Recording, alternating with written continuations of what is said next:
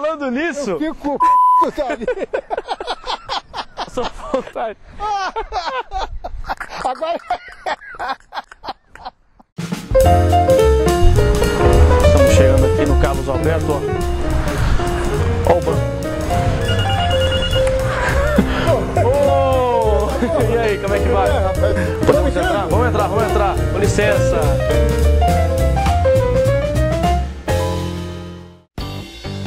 Oi, gente. Hoje eu vou conversar com um dos grandes ícones da TV brasileira e do humor brasileiro. Eu vou ter a honra de sentar no banco da praça do Carlos Alberto de Nóbrega e descobrir quais são as manias dele. A partir de agora, no Talk Show.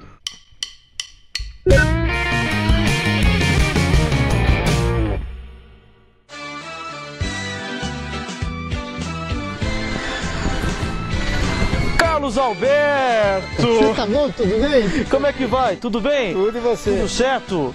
Cheguei. Tô no horário? Tá no horário, chegou pontualzinho. Pontual? Sem atrasos? Sem atraso nenhum. Que prazer estar contigo aqui Obrigado, aqui no banco aqui da praça. no banco da praça. E ele já me comentou que tem mania, que tem, Tem- alguns toques. Tem alguns toques. Tem? É, é, são, são maniazinhas que eu tenho. Então eu saio equilibrando o cabelo. né? O cara chega. Ah! Pô!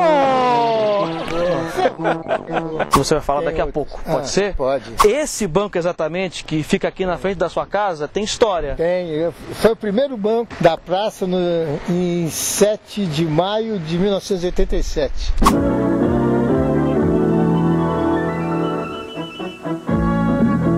É o primeiro banco da Praça é Nossa. que tava lá e aí uns dois anos depois, sei lá, deu uma confusão lá comigo. e Eu achava que eu ia ir embora.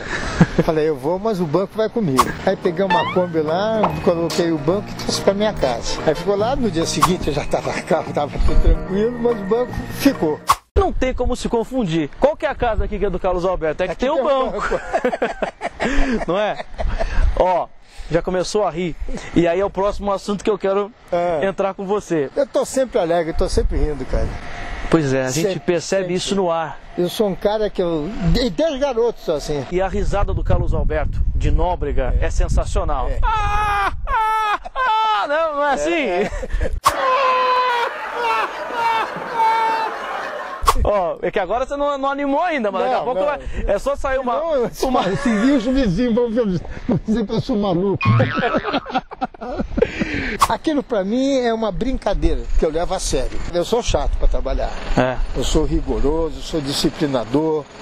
Tem que estar decorado. Se não tiver decorado, decorado não grava. Pode ser quem for, tá ruim, não vai pro ar. Diz uma coisa, o que, que você acha, Carlos Alberto, desse novo humor que está rolando principalmente na internet? É uma crítica construtiva. Sim. O pessoal da TV fechada está tendo uma grande chance de renovar e não está não tá aproveitando. Porque o modo é o mesmo. Eles não estão. Você veja, o fundo de quintal é uma coisa nova. Qual Pela- fundo de quintal? Porta dos fundos? É, é, é. Quintal, porta dos fundos. Porta dos fundos. É uma coisa Nova. nova. Só que você não pode botar na TV aberta. Por Você- quê? porque só tem palavrão, só tem sacanagem. Aham. Eu acho que a chance que eles têm de dizer, olha, o caminho é esse. E o caminho que eles estão mostrando não tem graça. Você está entrando na casa do telespectador, você é uma visita. Você não pode chegar, abrir a geladeira, só botar o pé na mesa, tá certo? Tem que ter educação até Tem pro humor. Exatamente. Então, quando o Paulinho Gogó fala bater virilha, escorregar o moreno, o adulto sabe e ri. Isso é permitido. Porque a criança não sabe o que é isso. Você acha então que o, o novo humor não tem tanta inovação? Tem o que então? Tem apelação. Apelação. Apelação. Agora, 29 anos de Praça é Nossa, 62 de E carreira 80 de idade. e 80 de idade. E olha aqui, ó. Um bocado de coisa. É um, jo- é um jovem. É um jovem porque é atleta também, faz academia. Faço, faço. Três vezes por semana, segunda, quarta e sexta. Você tá bem, com 80 anos e tá solteiro. Tá pra curtir bastante? Dá, vejo televisão, brinco com meu cachorro, passeio no meu carrinho conversível. Mas você tá bem? Coração tá Tô, bom? Com... tá, tá Solteirão? ótimo, solteiro. Não, tô bem, não tenho namorada não. Chega, chega. A André foi mulher da minha vida, porra. E depois dela não vai ter outra. Vai tirar férias agora um pouquinho? Ah, vai ter férias eternas. Praça da Alegria, com o teu pai. Quem apresentou a Praça da Alegria Da uma... Globo foi Miele também. Miele. Miele. O Chico Anísio chegou a fazer alguma coisa? O primeiro. De... Quando meu pai morreu, logo depois eu fui pra Globo. Aí é que eu tive uma, uma tristeza que você não pode imaginar. Até hoje eu não entendo. Eu vim para São Paulo, organizei tudo e me botei sentado no banco, porque quando meu pai viajava, eu ficava doente, era eu que ficava no, Fazia. Banco, no lugar dele. Uhum. Eu me achava no direito. Aí o Boni disse, não, nem você nem o Chico. Se o programa for um fracasso, era bom com teu pai, ruim com você, acabou tua carreira. Ele disse, tem que ser alguém totalmente diferente do, do Nóbrega. Entrou Miele nesse Entrou momento. Miele, que é exatamente totalmente diferente do meu pai. E você ficou chateado ah, na época? Fiquei. Fiquei muito. O que, que você pensou? Não zangado com ele. Que era meu. É, aquele lugar era meu. É meu por, por fato e por direito. O Boni depois falou que eu era jovem. Eu tinha 40 anos.